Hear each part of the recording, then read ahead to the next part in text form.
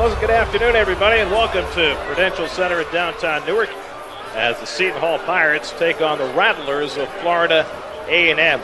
Part of us in the ticket sales office is running special events, and today we have Kids Day, so we had special offer out to kids. They're going to participate in the high five line, have a great time, and your group can too at one of the next Seton Hall Pirate games.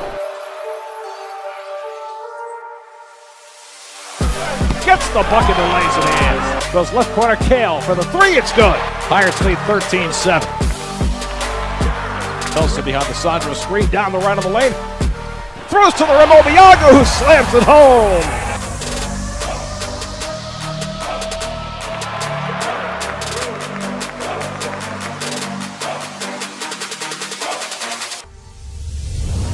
Accelerating through the lane, running scoop, goes off the back rim and in. Here's Reeves getting a high screen at center court, knocked out of his hands by Rhoden. Loose on the floor. Reynolds has it, flips it over the head. Rhoden redirects it to Powell, who lays it in. Oh, what a play! Right wing McKnight fakes the three, gets the baseline, goes cross court to Reynolds, left corner, hoists up a three. It's good. Rhoden accelerates, backs his way into the foul line. Fadeaway jump from the elbow is good. He's got nine. Entry pass for Thompson, posting up on Jones, backs his way in, hooks up a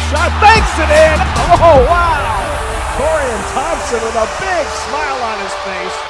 The final score this afternoon: Seton Hall 87, Florida A&M 51. Catch us in the Bahamas, baby!